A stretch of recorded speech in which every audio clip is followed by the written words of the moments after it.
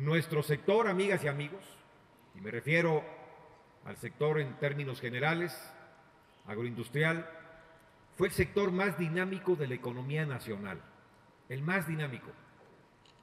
Hoy por eso decimos siempre que nuestro sector no solamente es un sector importante para la economía, sino también es un sector estratégico y debemos de cuidarlo y debemos de honrarlo y debemos de hablar con ustedes y decirles que nos sentimos orgullosos y que se deben de sentir orgullosos de lo que han logrado a través de los años.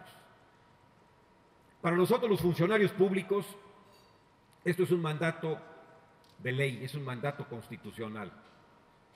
El fijar políticas públicas, apoyar al sector, etcétera. Es el recurso de ustedes. Pero el mérito de que México sea hoy uno de los grandes productores del mundo es de ustedes. Por eso nos sentimos orgullosos de lo que logramos, por ejemplo, el año pasado. Oye, exportamos 240 mil toneladas de carne bovino a los Estados Unidos.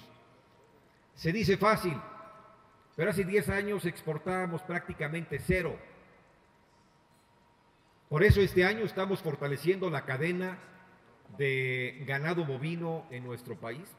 Hemos incrementado el crédito que llega a los productores de carne de manera sustantiva.